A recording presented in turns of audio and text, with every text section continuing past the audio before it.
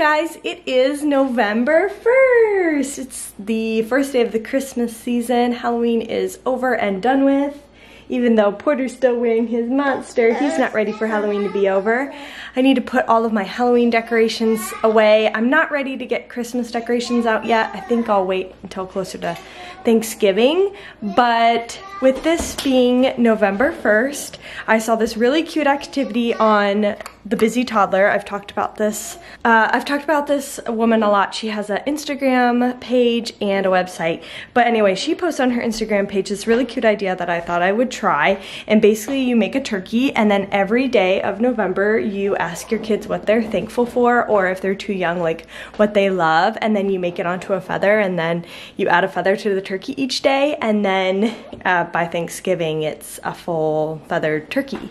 So I got out our construction paper today and I made a little turkey. So here's my turkey, little eyes and a nose and what's that thing? I don't remember what that thing is called, a gobble or it's got a funny name, I forget. And so it's just this and then little legs. Mine doesn't look half as cute as the one that she made, but I'm not artistic, so this will have to do. So this is what we're gonna start with. I'm gonna hang it on the wall, and then today I'm gonna ask Greyson what he's thankful for, and that will be the first feather. I've got purple construction paper, I also have blue. So I would ask Porter, but he can't talk. So we'll have to do this with you next year, huh? Greyson is in the playroom. He is making a mess. He's doing a new workbook that I got him. Say hi, Gray. Hi, babe. Are you doing your workbook? Good job. Tomorrow is election day. It's not like the full election, but because it's election day, Greyson doesn't have preschool because his preschool is a voting site. It's like at a church. So unfortunately he does not have preschool tomorrow, which I am very bummed about because it's just gonna feel like a long day. So he only has to, he only gets to go to preschool once this week, which is a bummer. So that's why we're gonna do these little activities. And Porter is eh. hungry for lunch. Eh. Eh. Do you like the turkey? You want the turkey? Turkey! What does the turkey say? Gobble gobble!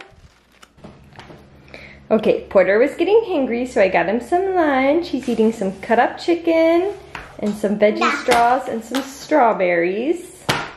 I'm making a mess.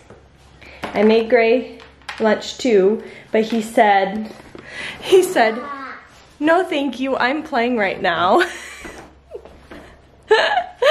he's, he's getting too big. So anyway, Gray's first thing that he's thankful for is chocolate.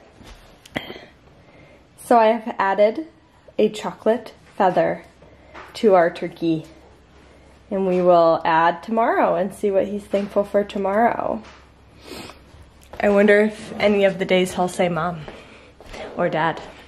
Or if it'll all just be candy. I guess chocolate is pretty fitting because Halloween was yesterday, so we've been having a lot more candy than we usually do in this house. So that's actually very fitting that he chose chocolate. but yeah, just kind of a fun activity. Um, if you guys are, sorry, I'm cleaning up all the mess that I made with the construction paper. So if you guys are looking for an activity to do with your kids, I suggest it because it's actually really easy and you don't have to be too creative because I am not creative. So yeah, definitely try and check it out. So we are outside now. It's after nap time. We have Berkeley now. We are dog sitting her for the night. Gray's doing sidewalk chalk. What's wrong, Gray? Do you need help? He gets a little frustrated trying to draw write his letters. G really trips him up. Got some snack over there, some pretzels. And then we got Porter over here. What is that, Porter? A pumpkin? So here's the state of our pumpkins. They're actually doing pretty well. They've got a lot of black inside them because of the candle flame and they've been out for a week, over a week now. So those are going to be thrown away soon because now it's November 1st, so we don't need them.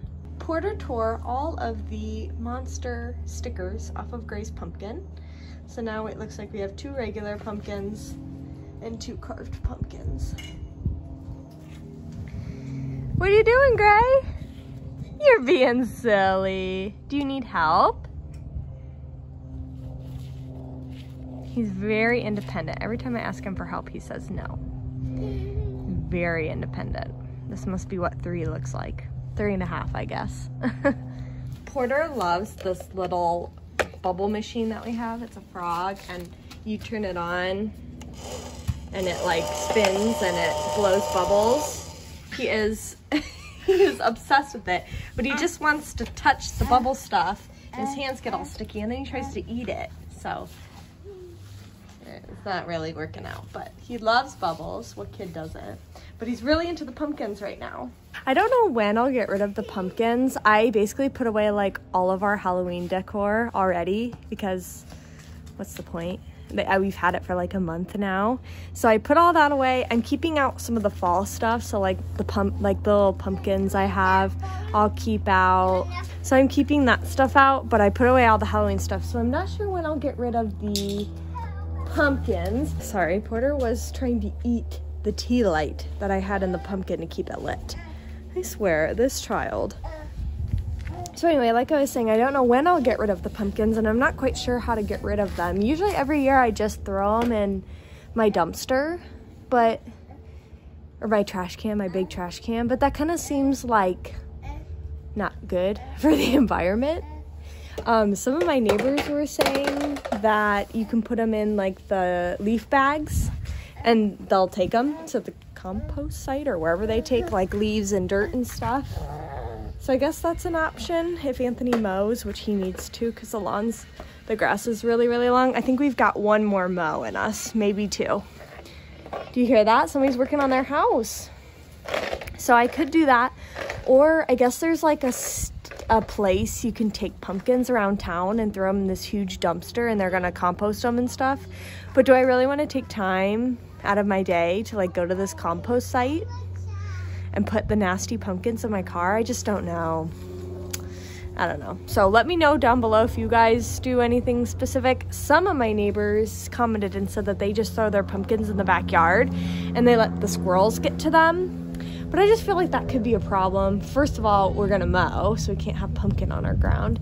And second of all, I just feel like it would attract things that we don't want. We already have so many squirrels and they eat like the wood on our lattice. So I don't think I want any more squirrels than what we have. So I don't think I'll do that. but yeah, I'm not sure what I'll do with those pumpkins. Oh, do you see Berkeley? Berkeley's like, why are we doing sidewalk chalk? I want to go on a walk. This is lame. Oh, she's running away from Porter. Do you want to go on a puppy walk? No. Oh, okay.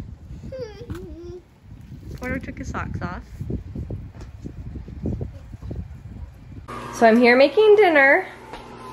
Gray's watching a show. I went to go switch it because he wanted something different. And I turned back around, I heard Porter making noise. And this is what he did. Porter! Oh my gosh. Having two kids is no joke, you guys. Now I have to go clean while making sure dinner doesn't burn. I'm just making spaghetti. It's nothing special, but we haven't had it in a while and I've been craving it, but now I have to clean up that mess. Someone want to come clean my house?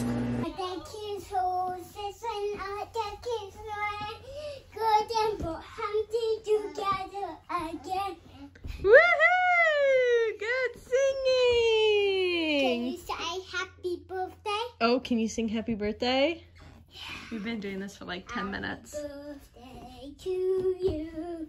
Happy birthday to you. Happy birthday, dear Greyson. Happy birthday to you. Woo! Good singing! What did you find? Rosie. Can you sing Ring Around the Rosie? You gonna do your puzzle? Ring around the Rosie, a pocket full of roses. We are just chilling here in Greyson's room. Both boys had an unexpected bath. We had spaghetti tonight, and even though they had baths yesterday, they desperately needed a bath. And so we did two nights in a row of bath. I usually don't do that. I either do every other or every two days. Porter wants me to wear hats. He's very into hats lately. Hey. So yeah, we're just hanging out until bed bedtime. Anthony went to go work out. We're trying to get into shape because we go to Jamaica in less than two months and our bodies are not beach ready. So we are trying to get there. So I try to work out on Tuesdays and Thursdays, and Anthony tries to work out every other day, but it's hard when you have kids and plans and schedules. So we get it, it in when we can. But yeah, I think this is just what we're gonna do the rest of today. Gray's and his Christmas jammies. We have several Christmas jammies, but these are one of them. We're getting tired. I gotta try to keep the kids up later. I saw on TikTok that if you keep your kids up 10 minutes later every day, culminating up to an hour later, then um, if you start the week before daylight savings, then they'll be ready on daylight savings to stay up an hour later. So I'm gonna try to do that. Porter gets tired at night, so it's kind of hard. Gray is easy. So we'll see how it goes, but I am dreading daylight savings time. I hate it. It's gonna be dark constantly, and the kids are gonna be cranky. But anyway, I think that's it. Porter's falling off the bed, so I should go. Uh, make sure to like this video, subscribe, and I'll see you guys next time. Bye! Say bye! Say I love you! Bow kisses! Thanks. Porter, say bye! Say bye-bye! Bye-bye! Bye!